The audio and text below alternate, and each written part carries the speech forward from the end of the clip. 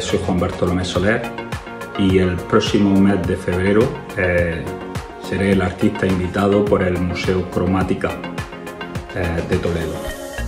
Durante ese mes podréis disfrutar de obras como esta que tengo aquí detrás, junto a una exposición permanente de obras de arte pintadas en instrumentos musicales. Espero veros allí el día de la inauguración, que será el 17 de enero eh, a las 7 de la tarde.